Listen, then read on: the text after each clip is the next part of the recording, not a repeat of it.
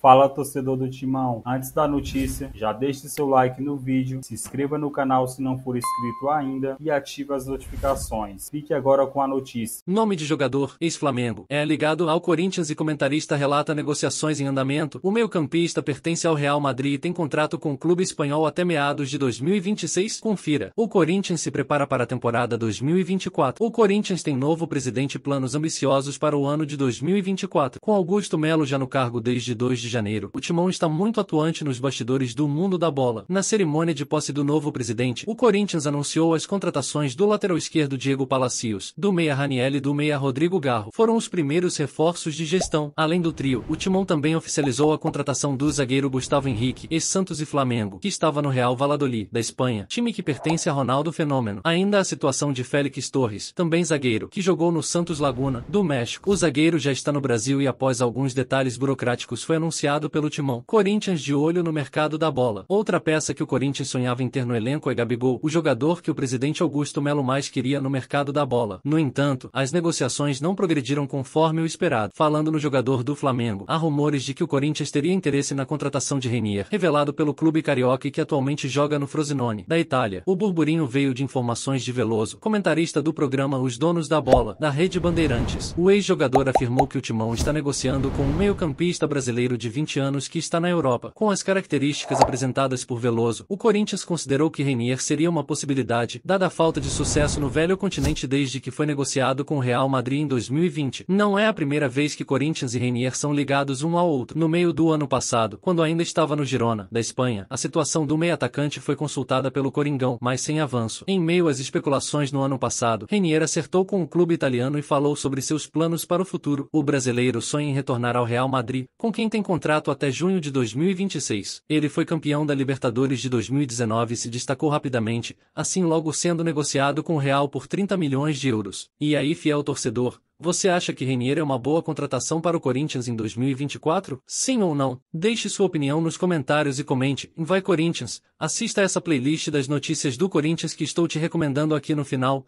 Obrigado por nos assistir e até o próximo vídeo, torcedor. E só para você que ficou até o final desse vídeo, garanta agora mesmo a camisa oficial do Corinthians ou a caneca personalizada. Link na descrição do vídeo ou no comentário fixado. Não perca essa oportunidade.